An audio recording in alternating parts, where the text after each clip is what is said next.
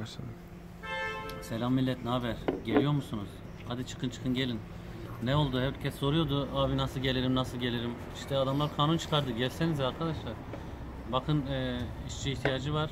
Mart'ta başlıyor. Ya, yasa yürürlüğe giriyor. Daha önce siteyi gösterdim bir videoda. Anerkennung in Deutschland'a girin. Belgelerinizi tanıtın şimdiden. Hazır olsun. Dili de öğrenin. Mart'a kadar. Ne kadar öğrenemediyseniz eksiklerinizi tamamlayın. Sınavlara falan girin, halledin. Bakın Sayın Merkel konuşma yaptı. Dedi ki eee, bir hızlı adımlar atmalıyız. Yoksa iş yerleri kapanacak. Çok eee, aşırı ihtiyaç var. Eee, ve eee, adam yani şirketler taşınabilir ülkemizden. Bunu da istemiyoruz. Zaten şimdi eee, görüşüyorlar bu bürokrasiyi falan azaltmayı, işte eee, daha kolaylaştırmayı eee, işlemleri. Onunla ilgili adımlar atacaklar. İşte belki bazı ülkelerle direkt meslek bazında anlaşmalar yaparız. İşte atıyorum X ülkesinden e, hemşire istiyoruz. Şu ülkeden şu meslekle ilgili anlaşmalar yapalım diyorlar. Daha kolay olsun diye işlemler. E, tabii e, kıskanıyorlar da tabii sizi. E, orada e, kalifiye elemanları çekelim de zarar verelim onlara diye yapıyorlar büyük ihtimalle. Şaka bir yana böyle işçi sıkıntısı aslında çalışan insanlar için de bir yandan iyidir. Çünkü emeğin değeri daha da artacak. Çünkü e, yani işçi bulamazsan ne olacak? Daha yüksek paralara işçi arayacaksın. Böyle bir şey var. Bu da çok kötü bir şey değil. Zaten SP'de şu demokratlar, sosyal demokratlar, şey hükümet partisi yani iktidardaki parti e, bir önerge veriyor asgari ücreti 12'ye çıkaralım diye. Yani şu anda 9 küsürlerde onu 12'ye çıkarmak çok güzel olacak.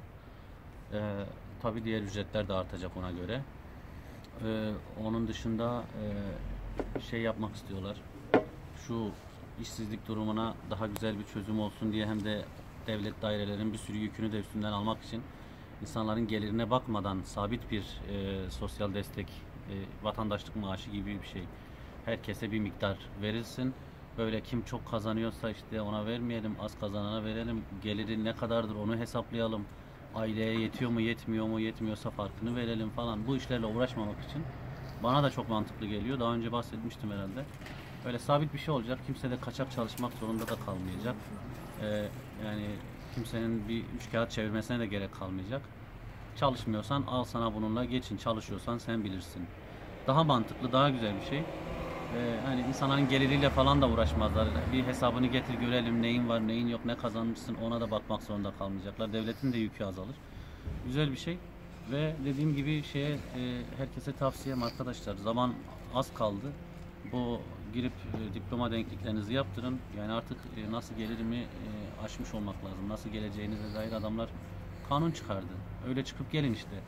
Ee, ben artık e, o sorulardan e, çok fazla duydum. Yeni sorular istiyorum. İşte denkliğimi yaptım. Bana iş e, arar mısın? Bana ev arar mısın? Ev arıyorum. iş arıyorum. O seviyeye gel gelmiş olmalarını istiyorum insanların. Gerçekten bu güzel bir fırsattır. Ee, Ülkemizin içinde bulunduğu durum, ekonomik durumlar, işsizlik rakamları da gösteriyor. Ee, ihtiyaçtır bu. Bizim ülkemiz için çok iyi bir şey. Ee, kesinlikle e, Almanya'nın ihtiyacıdır. Türkiye'nin de e, bir fırsatıdır bu. Ülkemizdeki gençler özellikle eğitimli gençlerin bu fırsattan yararlanmasını istiyoruz. İmkan çok. Elinizden geleni yapın. Sorularınız da olursa sorun. Ben de elimden geleni yapayım arkadaşlar. Gerekirse dedim ya bana nasıl gelirim yerine artık nasıl geleceğinizi bir senedir neredeyse anlatıyorum. Ee, bana artık e, her şeyimi hallettim. Ee, iş arıyorum, ev arıyorum, araba arıyorum, yardım et e, diye sorular gelsin istiyorum. Ee, internete girip ararız beraber. Bir şeyler yaparız, yardımcı oluruz. Hepinizi çok seviyorum. Kendinize iyi bakın. Dış güçler sizi kıskanıyor. 2023'e kadar sabreden etsin. Etmeyen de işte böyle imkanlardan faydalansın istiyorum. Bay bay görüşmek üzere.